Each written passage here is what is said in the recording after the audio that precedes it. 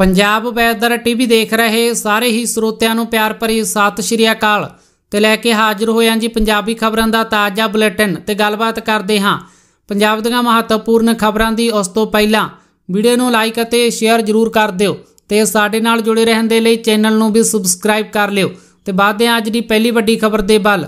ਬੱਚਿਓ, ਹੋ ਜਾਓ ਤਿਆਰ। 16 ਮਈ ਤੋਂ ਪੰਜਾਬ ਦੇ ਸਕੂਲਾਂ ਦੇ ਵਿੱਚ ਲੱਗਣਗੀਆਂ ਆਨਲਾਈਨ ਕਲਾਸਾਂ ਪਰ ਸਟੇਸ਼ਨ।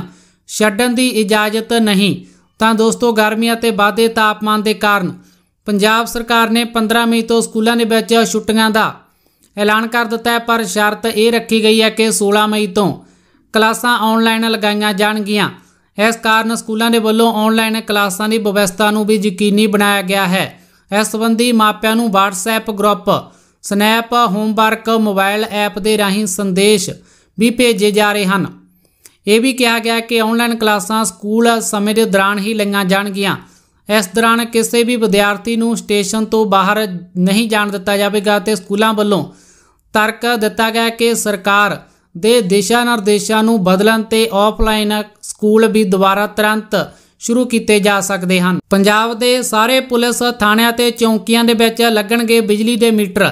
ਜੀ ਹਾਂ ਦੋਸਤੋ, ਪੰਜਾਬ ਸਰਕਾਰ ਨੇ ਬਿਜਲੀ ਚੋਰੀ ਦੇ ਖਿਲਾਫ ਸਖਤੀ ਸ਼ੁਰੂ ਕਰ ਦਿੱਤੀ ਹੈ ਤੇ ਵਿੱਤ ਮੰਤਰੀ ਭਗਵੰਤ ਮਾਨ ਨੇ ਸ਼ੁੱਕਰਵਾਰ ਨੂੰ ਜਾਰੀ ਇੱਕ ਬਿਆਨ ਦੇ ਵਿੱਚ ਕਿਹਾ ਹੈ ਕਿ ਪੰਜਾਬ ਦੇ ਵਿੱਚ ਹਰ ਸਾਲ 1200 ਕਰੋੜ ਰੁਪਏ ਦੀ ਬਿਜਲੀ ਚੋਰੀ ਹੋ ਰਹੀ ਹੈ।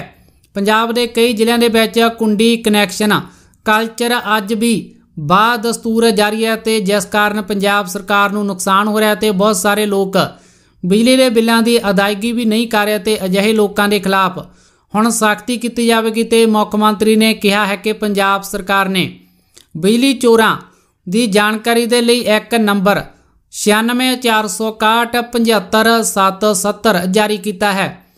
ਇਸ ਨੰਬਰ ਦੇ ਉੱਤੇ ਕੋਈ ਵੀ ਪੰਜਾਬ ਵਾਸੀ ਬਿਜਲੀ ਚੋਰੀ ਦੇ ਸੰਬੰਧੀ ਆਪਣੀ ਸ਼ਿਕਾਇਤ ਭੇਜ ਸਕਦਾ ਹੈ ਤੇ ਮੁੱਖ ਮੰਤਰੀ ਦਾ ਕਹਿਣਾ ਹੈ ਕਿ ਪਤਾ ਚੱਲਿਆ ਹੈ ਕਿ ਪੰਜਾਬ ਦੇ ਵਿੱਚ ਬਹੁਤ ਸਾਰੇ ਪੁਲਿਸ ਥਾਣਿਆਂ ਤੇ ਚੌਂਕੀਆਂ ਦੇ ਵਿੱਚ ਬਿਜਲੀ ਤਾਂ ਆਉਂਦੀ ਹੈ, ਪਰ ਮੀਟਰ ਨਹੀਂ ਹਨ ਤੇ ਉੱਥੇ ਵੀ ਕੁੰਡੀ ਕਨੈਕਸ਼ਨ ਦੇ ਜ਼ਰੀਏ ਬਿਜਲੀ ਪੂਰੀ ਕੀਤੀ ਜਾ ਰਹੀ ਹੈ ਤੇ ਮੁੱਖ ਮੰਤਰੀ ਨੇ ਕਿਹਾ ਹੈ ਕਿ ਬਿਜਲੀ ਵਿਭਾਗ ਦੇ ਅਧਿਕਾਰੀਆਂ ਨੂੰ ਨਿਰਦੇਸ਼ ਦਿੱਤੇ ਹਨ ਕਿ ਉਹ ਅਜਿਹੇ ਪੁਲਿਸ ਥਾਣਿਆਂ ਤੇ ਚੌਂਕੀਆਂ ਦੇ ਵਿੱਚ ਮੀਟਰ ਲਗਾਉਣ ਦੀ ਪ੍ਰਕਿਰਿਆ ਸ਼ੁਰੂ ਕਰਨ। ਅੰਮ੍ਰਿਤਸਰ ਦੇ ਵਿੱਚ ਵੱਡੀ ਵਾਰਦਾਤ ਤੇਜ਼ ਧਾਰ ਹਥਿਆਰ ਦੇ ਨਾਲ ਨੌਜਵਾਨ ਦੀ ਧੌਣ ਵੱਢ ਕੀਤਾ ਕਤਲ। ਤਾਂ ਦੋਸਤੋ, ਅੰਮ੍ਰਿਤਸਰ ਜ਼ਿਲ੍ਹੇ ਦੇ ਵਿੱਚ ਉਸ ਸਮੇਂ ਸਨਸਨੀ ਫੈਲ ਗਈ ਜਦੋਂ ਤੇਜ਼ ਧਾਰ ਹਥਿਆਰ ਦੇ ਨਾਲ ਇੱਕ ਨੌਜਵਾਨ ਦੀ ਧੌਣ ਤੇ ਵਾਰ ਕਰਕੇ ਉਹਦਾ ਕਤਲ ਕਰ ਦਿੱਤਾ ਗਿਆ। ਕਤਲ ਦੇ ਮਾਮਲੇ ਵਿੱਚ ਥਾਣਾ ਸੀ ਡਿਵੀਜ਼ਨ ਦੀ ਪੁਲਿਸ ਨੇ ਜੈਸ ਉਰਫ ਦਰਸ਼ਨ ਅਨਿਲ ਚੌਧਰੀ ਵਾਸੀ ਨਾਸਿਕ ਮਹਾਰਾਸ਼ਟਰ ਨੂੰ ਗ੍ਰਿਫਤਾਰ ਕਰ ਲਿਆ ਹੈ। ਘਟਨਾ ਦੀ ਜਾਣਕਾਰੀ ਦਿੰਦੇ ਹੋਏ ਸ਼ੰਕਰ ਦਾਸ ਨੇ ਦੱਸਿਆ ਕਿ ਉਹ ਚਾਟੀ ਪਿੰਡ ਚੌਂਕ ਸਥਿਤ ਸਕੱਤਰੀ ਬਾਗ ਆਇਆ ਹੋਇਆ ਸੀ ਤੇ ਜਿੱਥੇ ਗੇਟ ਤੇ ਉਹ ਬਲਕਾਰ ਸਿੰਘ ਦੇ ਨਾਲ ਗੱਲਾਂ ਕਰ ਰਿਹਾ ਸੀ। ਮੁਲਜ਼ਮ ਇੱਕ ਮਨੂ ਨਾਮ ਦੇ ਨੌਜਵਾਨ ਦੇ ਨਾਲ ਲੜਾਈ ਕਰਦਾ ਹੋਇਆ ਬਾਹਰ ਆ ਰਿਹਾ ਸੀ, ਜਿਸ ਨੂੰ ਦੇਖ ਕੇ ਉਹ ਬਚਾਅ ਦੇ ਲਈ ਗਏ ਅਤੇ ਗੁੱਸੇ ਵਿੱਚ ਆਏ ਨੌਜਵਾਨ ਨੇ ਮਨੂ ਦੀ ਧੌਣ ਤੇ ਤੇਜ਼ਧਾਰ ਹਥਿਆਰ ਦੇ ਨਾਲ ਬਾਹਰ ਕਰ ਦਿੱਤਾ ਤੇ ਖੂਨ ਦੇ ਨਾਲ ਲੱਥਪੱਥ ਹੋ ਕੇ ਹੇਠਾਂ ਡੱਗ ਪਿਆ। ਮੌਕੇ ਤੇ ਇਕੱਠੇ ਹੋਏ ਲੋਕਾਂ ਨੇ ਮੁਲਜ਼ਮਾਂ ਨੂੰ ਕਾਬੂ ਕਰਕੇ ਇਸ ਘਟਨਾ ਦੀ ਸੂਚਨਾ ਪੁਲਿਸ ਨੂੰ ਦਿੱਤੀ ਅਤੇ ਲੋਕਾਂ ਨੇ ਮੁਲਜ਼ਮ ਨੂੰ ਪੁਲਿਸ ਦੇ ਹਵਾਲੇ ਕਰ ਦਿੱਤਾ ਤੇ ਮਨੂ ਨੂੰ ਜਦੋਂ ਜ਼ਖਮੀ ਹਾਲਤ ਦੇ ਵਿੱਚ ਹਸਪਤਾਲ ਲਿਜਾਇਆ ਗਿਆ ਤਾਂ ਡਾਕਟਰਾਂ ਨੇ ਉਸ ਨੂੰ ਮ੍ਰਿਤਕ ਕਰਾਰ ਕਰ ਦਿੱਤਾ। ਪੁਲਿਸ ਨੇ ਹੁਣ ਇਸ ਮਾਮਲੇ ਦੀ ਜਾਂਚ ਪੜਤਾਲ ਸ਼ੁਰੂ ਕਰ ਦਿੱਤੀ ਹੈ। ਸੀਬੀਐਸਈ ਨੇ ਜਾਰੀ ਕੀਤੀਆਂ ਗਾਈਡਲਾਈਨ, ਸਕੂਲਾਂ ਨੂੰ ਸਮਾਂ ਬਦਲਣ ਦੇ ਹੁਕਮ ਦਿੱਤੇ ਤਾਂ ਦੋਸਤੋ ਗਰਮੀ ਦੇ ਮੱਦੇਨਜ਼ਰ ਕੇਂਦਰੀ ਸੈਕੰਡਰੀ ਸਿੱਖਿਆ ਬੋਰਡ ਸੀਬੀਐਸਈ ਨੇ ਸਕੂਲਾਂ ਦੇ ਲਈ ਦਿਸ਼ਾ ਨਿਰਦੇਸ਼ ਜਾਰੀ ਕੀਤੇ ਹਨ ਤੇ ਜਿਨ੍ਹਾਂ ਨੂੰ ਹਰ ਸਕੂਲ ਨੂੰ ਸਥਾਨਕ ਪੱਧਰ ਤੇ ਲਾਗੂ ਕਰਨ ਦੇ ਨਿਰਦੇਸ਼ ਦਿੱਤੇ ਗਏ ਹਨ ਤੇ ਜਾਰੀ ਹਦਾਇਤਾਂ ਦੇ ਵਿੱਚ ਸੀਬੀਐਸਈ ਨੇ ਕਿਹਾ ਹੈ ਕਿ ਸਕੂਲਾਂ ਨੂੰ ਆਪਣੇ ਸਮੇਂ ਦੇ ਵਿੱਚ ਬਦਲਾਅ ਕਰਨਾ ਚਾਹੀਦਾ ਹੈ। ਬੱਚਿਆਂ ਨੂੰ ਸਵੇਰੇ ਜਲਦੀ ਬੁਲਾ ਕੇ ਦੁਪਹਿਰ ਤੋਂ ਪਹਿਲਾਂ ਛੁੱਟੀ ਦੇ ਦਿੱਤੀ ਜਾਵੇ। ਹਾਲਾਂਕਿ ਸਕੂਲ ਇਸ ਸਮੇਂ ਦੀ ਪਾਲਣਾ ਪੰਜਾਬ ਸਰਕਾਰ ਦੇ ਵੱਲੋਂ ਮਈ ਦੇ ਸ਼ੁਰੂ ਵਿੱਚ ਜਾਰੀ ਹਦਾਇਤਾਂ ਦੇ ਅਨੁਸਾਰ ਕਰ ਰਹੇ ਹਨ ਤੇ ਇਹਦੇ ਨਾਲ ਹੀ ਸਕੂਲਾਂ ਨੂੰ ਸਵੇਰ ਸਮੇਂ ਖੇਡਾਂ ਜਾਂ ਬਾਹਰੀ ਗਤੀਵਿਧੀਆਂ ਕਰਵਾਉਣ ਦੇ ਲਈ ਕਿਹਾ ਗਿਆ ਜਦੋਂ ਕਿ ਸਕੂਲ ਦੇ ਅਸੈਂਬਲੀ ਕਵਰਡ ਏਰੀਆ ਦੇ ਵਿੱਚ ਹੋਣੀ ਚਾਹੀਦੀ ਹੈ। ਸਹਿਬੇ ਇਸ਼ਾ ਦੇ ਨਾਲ ਪੰਚਾਇਤੀ ਜ਼ਮੀਨਾਂ ਤੋਂ ਕਬਜ਼ਾ ਛੱਡਣ ਵਾਲੇ ਪਿੰਡਾਂ ਨੂੰ ਵਿਸ਼ੇਸ਼ ਤੋਹਫਾ ਦੇਵੇਗੀ ਭਗਵੰਤ ਮਾਨ ਸਰਕਾਰ। ਜੀ ਹਾਂ ਦੋਸਤੋ, ਸੂਬੇ ਨੂੰ ਆਰਥਿਕ ਪੱਖੋਂ ਮਜ਼ਬੂਤ ਕਰਨ ਦੇ ਲਈ ਮੁੱਖ ਮੰਤਰੀ ਭਗਵੰਤ ਮਾਨ ਦੀ ਅਗਵਾਈ ਵਾਲੀ ਪੰਜਾਬ ਸਰਕਾਰ। ਹਰ ਸੰਭਵ ਯਤਨ ਕਰ ਰਹੀ ਹੈ ਤੇ ਇਸੇ ਲੜੀ ਦੇ ਤਹਿਤ ਪੰਜਾਬ ਦੇ ਪਿੰਡਾਂ ਦੇ ਵਿੱਚ ਲੰਬੇ ਸਮੇਂ ਤੋਂ ਪੰਚਾਇਤੀ ਜੰਗਲਾਤ ਅਤੇ ਹੋਰ ਸਰਕਾਰੀ ਜ਼ਮੀਨਾਂ ਦੇ ਕਬਜ਼ੇ ਛੁਡਵਾਏ ਜਾ ਰਹੇ ਹਨ ਤਾਂ ਜੋ ਇਹਨਾਂ ਨੂੰ ਢੁਕਵੀਂ ਪ੍ਰਕਿਰਿਆ ਦੇ ਤਹਿਤ ਠੇਕੇ ਤੇ ਦੇ ਕੇ ਸਰਕਾਰ ਦੀ ਆਮਦਨ ਵਧਾਈ ਜਾ ਸਕੇ। ਇਹਦੇ ਚੱਲਦਿਆਂ ਪੰਜਾਬ ਸਰਕਾਰ ਨੇ ਸ਼ੈਬੇ ਇੱਛਾ ਦੇ ਨਾਲ ਪੰਚਾਇਤੀ ਜ਼ਮੀਨਾਂ ਤੋਂ ਕਬਜ਼ੇ ਛੱਡਣ ਵਾਲੇ ਪਿੰਡਾਂ ਨੂੰ ਵਿਸ਼ੇਸ਼ ਤੋਹਫਾ ਦੇਣ ਦਾ ਐਲਾਨ ਕੀਤਾ ਹੈ।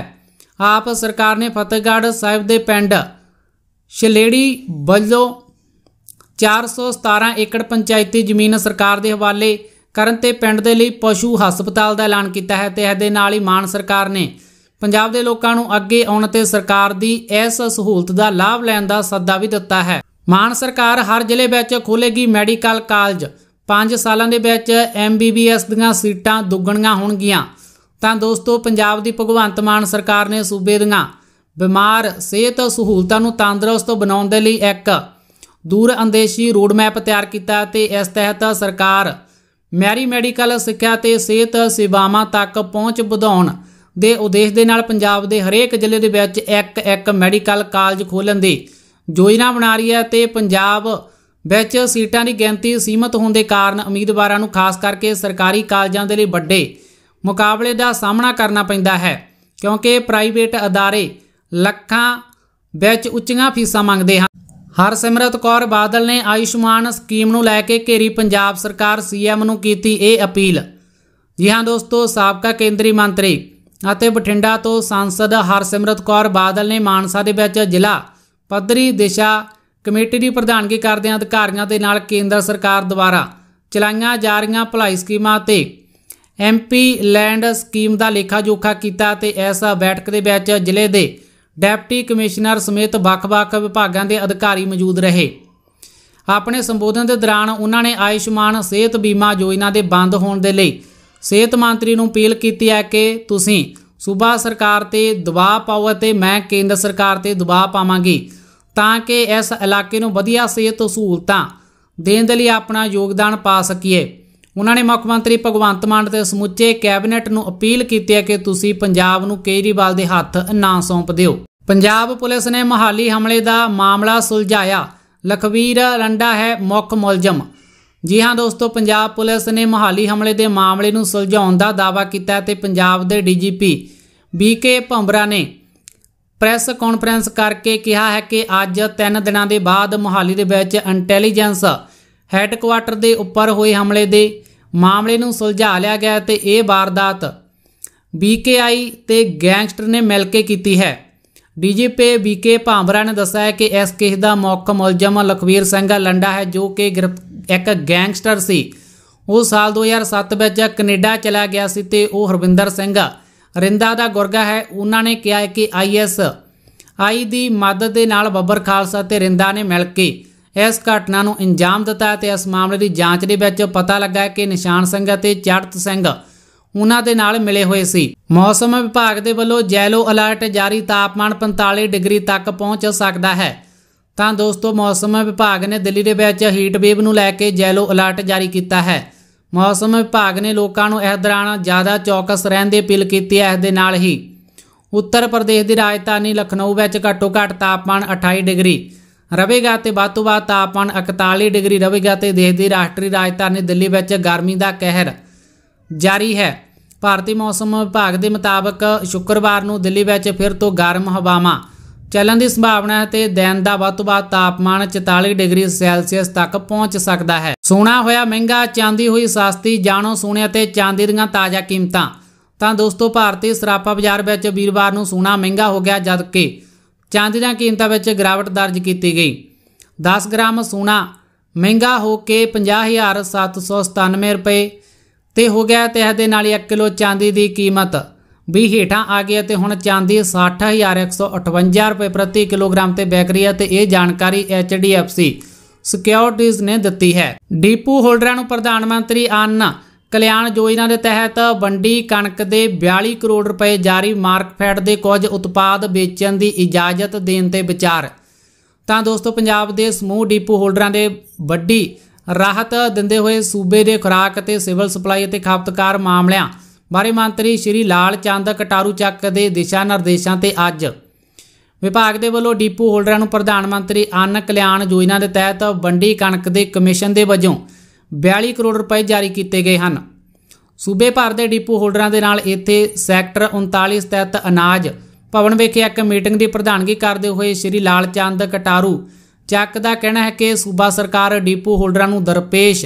ਆਉਣ ਵਾਲੀਆਂ ਸਮੱਸਿਆਵਾਂ ਤੋਂ ਚੰਗੀ ਤਰ੍ਹਾਂ ਜਾਣੂ ਹਨ ਤੇ ਉਹਨਾਂ ਨੂੰ ਦੂਰ ਕਰਨ ਦੇ ਲਈ ਹਰ ਸੰਭਵ ਯਤਨ ਕਰ ਰਹੇ ਹਨ। ਬਿਜਲੀ ਚੋਰਾਂ ਦੀ ਹੁਣ ਖੈਰ ਨਹੀਂ, ਦੇਖੋ ਭਗਵੰਤ ਮਾਨ ਨੇ ਬਿਜਲੀ ਚੋਰੀ ਬਾਰੇ ਕੀਤਾ ਵੱਡਾ ਐਲਾਨ। ਜੀ ਹਾਂ ਦੋਸਤੋ, ਮੁੱਖ ਮੰਤਰੀ ਪੰਜਾਬ ਭਗਵੰਤ ਮਾਨ ਦੇ ਵੱਲੋਂ ਲੋਕਾਂ ਨੂੰ ਜਿੱਥੇ ਪਹਿਲਾਂ ਮੁਫਤ ਬਿਜਲੀ ਦਾ ਤੋਹਫਾ ਦਿੱਤਾ ਗਿਆ ਤੇ ਉੱਥੇ ਹੀ ਹੁਣ ਬਿਜਲੀ ਚੋਰੀ ਨੂੰ ਰੋਕਣ ਦੇ ਲਈ ਵੱਡਾ ਐਲਾਨ ਕੀਤਾ ਹੈ। ਆਮ ਆਦਮੀ ਪਾਰਟੀ ਸਰਕਾਰ ਨੇ ਮੁੱਖ ਮੰਤਰੀ ਮਾਨ ਦੇ ਐਲਾਨ ਦੇ ਨਾਲ ਹੁਣ ਬਿਜਲੀ ਚੋਰਾਂ ਦੀ ਖੈਰ ਨਹੀਂ ਹੋਵੇਗੀ। ਮਾਨ ਸਰਕਾਰ ਨੇ ਪੰਜਾਬ ਦੇ ਅੰਦਰ ਕੁੰਡੀ ਹਟਾਓ ਮੁਹਿੰਮ ਚਲਾਉਣ ਦਾ ਫੈਸਲਾ ਕੀਤਾ ਹੈ। ਦੱਸ ਦਈਏ ਕਿ ਪਿਛਲੀ ਕਾਫੀ ਲੰਬੇ ਸਮੇਂ ਤੋਂ ਸਰਕਾਰ ਨੂੰ ਬਿਜਲੀ ਚੋਰੀ ਦੀਆਂ ਸਬੰਧਿਤ ਦਰਖਾਸਤਾਂ ਮਿਲ ਰਹੀਆਂ ਸਨ ਤੇ ਜਿਸ ਤੇ ਕਾਰਵਾਈ ਕਰਦਿਆਂ ਹੋਇਆਂ ਸਰਕਾਰ ਨੇ ਇਹ ਕਦਮ ਚੁੱਕਿਆ ਤੇ ਪੰਜਾਬ ਦੇ ਅੰਦਰ ਕੁੰਡੀ ਲਗਾ ਕੇ ਬਿਜਲੀ ਚੋਰੀ ਕਰਨ ਵਾਲਿਆਂ ਨੂੰ ਬਖਸ਼ਿਆ ਨਹੀਂ ਜਾਵੇਗਾ ਤੇ ਸਖਤ ਕਾਰਵਾਈ ਕੀਤੀ ਜਾਵੇਗੀ। ਵੱਡੀ ਖਬਰ ਰਾਮ ਰਹੀਮ ਨੂੰ ਦੋ ਮਾਮਲਿਆਂ ਦੇ ਵਿੱਚ ਮਿਲੀ ਜ਼ਮਾਨਤ। ਤਾਂ ਦੋਸਤੋ, ਸਾਲ 2015 ਦੇ ਵਿੱਚ ਬਰਗਾੜੀ ਬੇਅਦਬੀ ਮਾਮਲੇ ਦੇ ਵਿੱਚ ਚਾਰਜ ਸ਼ੀਟ ਡੇਰਾ ਸੱਚਾ ਸੌਦਾ ਸਿਰਸਾ ਦੇ ਪ੍ਰਮੁੱਖ ਮੁਖੀ ਗੁਰਮੀਤ ਰਾਮ ਰਹੀਮ ਨੇ ਵਿਵਾਦਤ ਪੋਸਟਰ ਲਗਵਾਉਣ ਅਤੇ ਪਾਵਨ ਸਰੂਪ ਦੀ ਬੇਅਦਬੀ ਕਰਨ ਦੇ ਮਾਮਲੇ ਦੇ ਵਿੱਚ ਸੀਜੇਐਮ ਦੀ ਅਦਾਲਤ ਦੇ ਵਿੱਚ ਜ਼ਮਾਨਤ ਅਰਜੀ ਦਾਖਲ ਕੀਤੀ ਹੋਈ ਸੀ, ਜਿਸ ਨੂੰ ਲੈ ਕੇ ਅੱਜ ਅਦਾਲਤ ਨੇ ਮਨਜ਼ੂਰ ਕਰ ਲਿਆ ਹੈ। ਸ੍ਰੀ ਗੁਰੂ ਗ੍ਰੰਥ ਸਾਹਿਬ ਜੀ ਦੇ ਸਰੂਪ ਚੋਰੀ ਕਰਨ ਵਾਲੇ ਮਾਮਲੇ ਦੇ ਵਿੱਚ ਡੇਰਾ ਮੁਖੀ ਗੁਰਮੀਤ ਰਾਮ ਰਹੀਮ ਨੂੰ ਪਹਿਲਾਂ ਹੀ ਜ਼ਮਾਨਤ ਮਿਲੀ ਹੋਈ ਹੈ।